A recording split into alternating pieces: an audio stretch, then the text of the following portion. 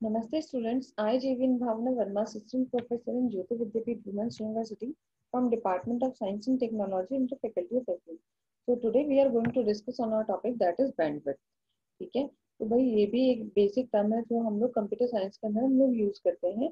Bandwidth का मतलब क्या होता है? तो देखो बैंडविड्थ का मतलब क्या होता है? बैंडविड्थ एक टर्म है जिसको हम एक्सप्लेन कर सकते हैं डाटा रेट के पर्पज में। ठीक है? मतलब हम लोग कह सकते हैं कि मैक्सिमम डाटा रेट है ना, क्या होती है एक नेटवर्क पे?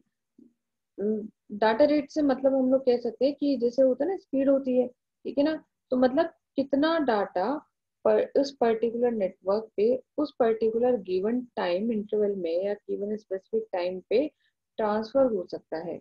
इसको आप लोगों ने क्या बोला है? बैंडविड्थ तो देखो बैंडविड्थ क्या होती है? Bandwidth is the data rate of a network at a specific given time over a specific connection, ठीक है?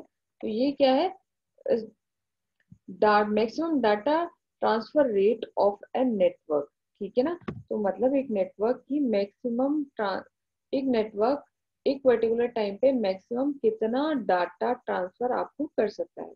उसी चीज़ को आप लोगों ने क्या बोला? बैंडविड्थ ठीक है? तो मतलब जैसे हम कह सकते हैं हम जितनी ज़्यादा हम लोगों के पास बैंडविड्थ होगी, उतनी ज़्यादा आप लोगों के पास स्पीड होगी। ठीक है ना? जैसे इन प्रैक्टिस के अंदर जो इथरनेट हम लोगों का सिंपल जो लैन होता है कनेक्शन उसकी बैंडविड्थ क्या होती है? थाउज़ेंड मेगाबिट्स होती है, ठीक है? या वन ट्वेंटी फाइव मेगाबिट्स पर सेकेंड होती है, ठीक है? ताकि, और ताकि इंटरनेट कनेक्शन में provide 25 five Mbps of bandwidth via cable modem ठीक है? अब ये तो था हमारा इथरनेट कनेक्शन जबकि हम लोगों का जो सिंपल इंटरनेट कनेक्शन है, वो क्या 25 मेगाबिट्स की बैंडविड्थ प्रोवाइड करता है, किसकी मदद से? अगर हम मॉडर्न की मदद से उसको यूज़ करें तो। ठीक है? ऐसे अलग अलग फ्रीक्वेंसीज होती है तो जो कि क्या है ट्रांसमिट करने के काम में आती है रेडियो जैसे रेडियो सिग्नल को या ऑडियो सिग्नल को। ठीक है ना? उस चीज़ को भी आप लोगों ने क्या बोला? बैंडविड्थ ठीक है? और उसको हम लोग किसमें मेजर करते हैं? किलो हर्ट्स में या फिर मेगाहर्ट्ज में? हाँ। मतलब a range of frequency that use to transmit a radio signal और audio signal is refer to as a bandwidth ठीक है? तो मतलब ऐसी कोई रेंज फ्रीक्वेंसी की रेंज अगर आप बताना चाहें जिसके अंदर हम ऑडियो और रेडियो सिग्नल ट्रांसमिट कर सकते हैं तो उस चीज़ को भी क्या आप लोगों ने बोला? बैंडविड्थ ठीक है?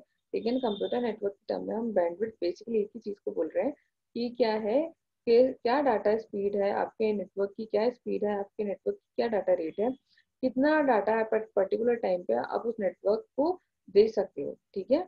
तो इसका मतलब ये मैक्सिमम डाटा ट्रांसफ़र रेट होता है किसी पर्टिकुलर नेटवर्क पे, किसी पर्टिकुलर इंटरनेट कनेक्शन पे, ठीक है ना? ये मेजर करता है how much amount of data can be send over specific connection in amount of time तो ये हम लोग उसके लिए बेसिक कह सकते हैं कि ये क्या है? ये सिंपल आपका, ये क्या मेजर कर रहा है? सिंपल आपका मेजर कर रहा है कि कितना डाटा उस पर्टिकुलर नेटवर्क पे over fix amount of time पे ट्रांसफ़र हुआ ठीक है? तो जैसे इथरनेट में वही बोला मैंने 125 मेगाबिट्स होती है है ना? अगर आप मॉडर्न केबल से कर रहे हैं तो 125 मेगाबिट्स वगैरह हो सकती है, ठीक है? तो ये क्या है? नेटवर्क की स्पीड को बता रहा है, ठीक है ना? अब ये नेटवर्क की स्पीड को बता रहा है, लेकिन ये नहीं बता रहा है कि कितनी फास्ट आपकी पर्टिकुलर डाटा बिट चल रही है।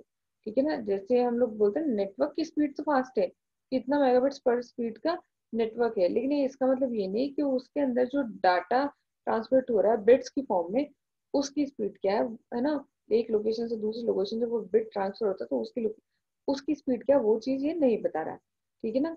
क्योंकि हम लोग देख सकते हैं कि जो हमारा डाटा पैकेट है वो देखो कहाँ ट्रेवल कर सकता है? uh, या तो ट्रेवल करता है ऑप्टिकल फाइबर के ऊपर से ऑप्टिकल फाइबर की मदद से ट्रेवल कर सकता है। ठीक है ना? The speed of each bit is transferred is negligible तो इस टाइम पे जब कंबाइंड बिट आ रही ना तो हर बिट कितना ट्रांसफ़र कर पा रही वो चीज़ क्या होती है? नेग्लिजिबल हो जाती है। ठीक है? अब देखो इसके अंदर क्या है? है ना? अब ये देखो, ठीक है, इसको हम लोग ऐसे अंडरस्टैंड कर सकते हैं कि भाई हम अंडरस्टैंडिंग के टर्म्स में बात करें तो हम इसको देख सकते हैं कि जैसे मान लीजिए आपके पास एक कोई पतली सी ट्यूब है, ठीक है ना? छोटी सी पतली सी स्किनी ट्यूब है, उसके अंदर क्या है? आप लोगों ने मिट्टी भर रखी है, ठीक है ना? और तो उसी तरह से हम लोग एक नेटवर्क कनेक्शन देखते हैं। नेटवर्क कनेक्शन जो कि है, एक ट्यूब की जैसे, जिसके अंदर जो डाटा बेट क्या है, वो जो सेंड हम लोग उसके अंदर डाल रहे हैं, उसको एक्सप्लेन कर सकते हो, ठीक है? अगर मान लो आप है ना, उसमें से अगर आप मिट्टी निकालते हो उस ट्यूब में से, ठीक है? तो वो थोड़ी कम रेट में निकलेगी। अगर आप वही अगर ट्यूब को बड़ा कर लेते हो और उसमें से मिट्टी निकालते हो तो उसके अंदर से क्या निकलेगी? वो ज़्यादा स्पीड में निकलेगी, ठीक है ना? या ज़्यादा मिट्टी निकलेगी, ठीक है? तो देखो, if you pour the same amount of sand through a wide tube, the sand will finish flow through the tube much faster ठीक है? ज़्यादा जल्दी वो सेंड जो मिट्टी है, वो उस बड़ी ट्यूब में से निकल जाएगी। इसी तरह हम लोग कह सकते हैं कि जो डाउनलोड होता है, वो download will finish the work faster when you will have a high bandwidth connection rather than a low bandwidth connection. इसीलिए हम कह सकते हैं कि अगर आपके पास हाई बैंडविड्थ कनेक्शन है तो आप ज़्यादा से डाउनलोड कर पाओगे लो बैंडविड्थ कनेक्शन है तो ज़्यादा से डाउनलोड नहीं कर पाओगे। आप कनेक्टेड तभी रह सकते हो जब आपकी बैंडविड्थ अच्छी हो। जैसे बैंडविड्थ लो आती है जैसे आप जूम पे क्लासेस लेते हैं तो उसमें क्या आता है? बैंडविड्थ लो और क्या आपका कनेक्शन कटने लग जाता है? वही ये चीज़ है कि अगर आपकी बैंडविड्थ कम हुई तो कनेक्शन क्या हो सकता है? कट भी सकता है ठीक है? अब नेक्स्ट है इसके अंदर इसकी फंक्शनैलिटी तो उसकी फंक्शनैलिटी के अंदर हम लोगों ने बस वही देखा हम उसको अंडरस्टैंड कर सकते हैं कि ना पाइप के कॉन्सेप्ट की मदद से अगर हम लोग इसको अंडरस्टैंड करें कि आ, कितना कितनी जल्दी आप किसी चीज़ को डाउनलोड या अपलोड कर पाओगे अगर उसकी बैंडविड्थ लो है या ज़्यादा है। अगर उसकी बैंडविड्थ लो है तो आप क्या कर सकते हो? आप उसमें देख सकते हो बैंडविड्थ लो है तो उसका मतलब वो डाटा जल्दी जल्दी अपलोड या डाउनलोड नहीं हो पाएगा। बैंडविड्थ हाई है तो अपलोड डाउनलोड जल्दी से हो जाएगा। ठीक है ना? और कस्टमर भी उसी अकॉर्डिंग पे करता है डिपेंड करता है, आपका इंटरनेट सर्विस प्रोवाइडर किस तरह की सर्विसेज़ प्रोवाइड करा किस तरह का डाटा आपको प्रोवाइड कर रहा है। ठीक है? अब देखो बिट्स और बाइट इसका मतलब क्या है? देखो, जैसे हम लोग बस की बात करते हैं एम बी की। एम बी क्या है? ये हम लोग देखते ना कि इतना डाटा आपको मिल रहा है, इतना एमबी का डाटा आपको मिल रहा है। तो वहाँ पे क्या होता है? एम बी के पीएस जो स्मॉल अगर बिट्स है या फिर कैपिटल बी आप ले रहे हो तो दोनों वर्ड्स वर्ड्स में डिफरेंस है। क्योंकि जैसे 15 कैपिटल एम बी इसका, है ना? वो स्मॉल कैपिटल एम बी के इक्वलेंट नहीं होता, क्योंकि कैपिटल बी मतलब बाइट्स एंड स्मॉल बी मतलब बिट्स ठीक है? तो हम ये देखते हैं कि जो फैक्टर जो एट का है ना, वो बहुत ज़्यादा डिफ्रेंशिएट करता है। क्यों? क्योंकि एट बिट मिलके वन बाइट बनाते हैं। तो बाइट एक बड़ा टर्म है बिट्स एक छोटा टर्म है। ठीक है ना? तो कंपनीज़ हम लोगों को अगर ऑफ़र करती है कि हम इतने एमबीपीएस की स्पीड आपको प्रोवाइड करा रहे तो हमें चेक कर लेना चाहिए कि वो क्या बोलना चाह रही है। मेगा बिट्स बोलना चाह रही है मेगा बाइट्स बोलना चाह रही है। ठीक है? देखो। देखो since we use the internet on the daily basis nowadays it is good to know that how much bandwidth we use for transaction. ठीक है? हमें पता होना चाहिए कि हम कितनी बैंडविड्थ यूज़ करें ट्रांजेक्शन के लिए। सो so, ये क्या है?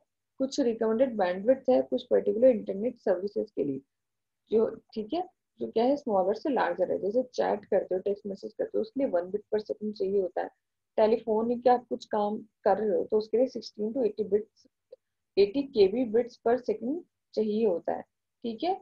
लेकिन अगर हम बात करें इंटरनेट सर्फिंग की तो हाँ ईमेल करने के लिए तो हमें one two six M speed चाहिए होती है, जो कि बहुत सफिशियंट होती है, ठीक? उसी तरह टीवी के लिए डीवीडी के लिए एच और एचडीवी के लिए क्या स्पीड चाहिए होती है, वो भी हम लोगों को बता रखा है, ठीक है?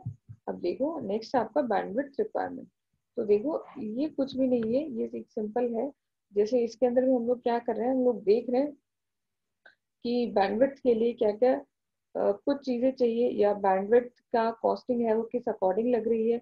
डिपेंड करता है आपका नेटवर्क कैसा है? आप किस अकॉर्डिंग पे कर रहे हो? आपका नेटवर्क कम है, आपका नेटवर्क अच्छा है नेटवर्क कम अच्छा है नेटवर्क अच्छा नहीं है, ठीक है? तो मतलब आप कौन सा प्रोग्राम यूज़ कर रहे हो, उसके अकॉर्डिंग आपकी बैंडविड्थ है जो आपको क्या मिल सकती है, ठीक है ना? आप टीवी प्रोग्राम देख रहे हो, आप चैट मैसेज कर रहे हो तो उसके अकॉर्डिंग क्या बैंडविड्थ रिक्वायरमेंट है जो होनी चाहिए? तो उस चीज़ को लिए बात की गई है और उसी पर्टिकुलर सर्विस के लिए, जितनी उसकी बैंडविड्थ है, आप उस पर्टिकुलर सर्विस के लिए उतना ही आप अकॉर्डिंग पे करें। ठीक है? ये हो गया हमारा सिंपल बैंडविड्थ रिक्वायरमेंट नेक्स्ट हम लोगों का टाइप्स ऑफ़ बैंडविड्थ तो देखो, दो तरह की आपकी बैंडविड्थ रहती है एक तो सिमेट्रिक होगी और एक एसिमेट्रिक होगी ठीक है? तो देखो सिमेट्रिक बैंडविड्थ में क्या होता है? इसका मतलब अपलोडिंग और डाउनलोडिंग की स्पीड अगर अपलोडिंग और डाउनलोडिंग करने के लिए अगर सेम कैपेसिटी आपके पास नेटवर्क में तब तो हो गया आपकी सिमेट्रिक तो symmetric bandwidth refers to the same volume and speed to the same volume and speed the amount of sorry speed the amount of data is communicated और travel between two given points ठीक है? इसका मतलब जो data की जो speed है, ठीक है ना? या फिर अमाउंट ऑफ़ डाटा जितना कम्युनिकेट हो पा रहा है तो वो अपलोडिंग और डाउनलोडिंग के लिए दोनों की कैपेसिटी सेम है। ठीक है ना? अब सैम अब जो हमारा जो सिमेट्रिक है, वो कहाँ पे यूज़ हो रहा है? हमारा वीडियो के अंदर यूज़ हो रहा है। वीडियो कॉन्फ्रेंसिंग के अंदर हम किसकी यूज़ करते हैं? सिमेट्रिक बैंडविथ से यूज़ करते हैं। सेम यार एसिमेट्रिक उसके अंदर क्या होता है? जैसा कि इस नाम ने बताया कि जो इसके अंदर in both direction do not have the same amount of data communicated per second मतलब चाहे अपलोड हो रहा हो, चाहे डाउनलोड हो रहा हो तो दोनों जगह पे क्या है? पर सेकेंड जो स्पीड है, वो क्या डिफर करती है? सेम नहीं है। ठीक है?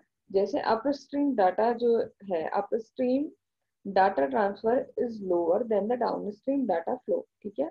जो अपर स्ट्रीम में जा रहा है, वो तो ज़्यादा, उसकी ज़्यादा बैंडविड्थ है, लेकिन जो डाउन स्ट्रीम आ रहा है, उसकी कम है। ठीक है? तो ये होती है हम लोगों की सिंपल एसिमेट्रिक बैंडविड्थ डिपेंड करता है कौन सी एप्लीकेशन यूज़ करो, उसमें क्या चीज़ है, क्या यूज़ करो एक्सेट्रा ठीक है? अब ये कुछ कॉमन इशू है बैंडविड्थ के रिगार्डिंग तो बस ये हमें इतना ही बताना चाहे कि कुछ पर्टिकुलर टिप्स देनी चाहिए ताकि आप अपनी वो वायरलेस की बैंडविड्थ जो है इंक्रीज कर सको। जैसे आप अपने वायरलेस ब्रॉडकास्टर या आपका कुछ भी आपका है, उस किट को आप सेंट्रल रखो ताकि क्या है, पूरे घर में एक इक्वल रेंज आए, ठीक है ना? और remove and remove anything that can block the signal from from your wireless routers baby monitors metals files and walls मतलब ये बोल रहा है कि आप अपनी जो उसको है, देखो कि उसके आसपास ऐसा क्या है कि कहीं उसे कुछ स्पीड ब्लॉक तो नहीं हो रही है। ठीक है? है ना? तो ये था हम लोगों का कुछ टॉपिक जिसके बारे में हम लोगों ने देखा कि बैंडविड्थ क्या है, कौन टाइप्स क्या है, उसके बीच में क्या इश्यू आ रहा है एमबी और मेगाबाइट्स में क्या डिफरेंस है। So, i hope you like my session and if you have any query mention in the comment box. And this session is powered by digital version 2.0 jyoti vidyapith women's university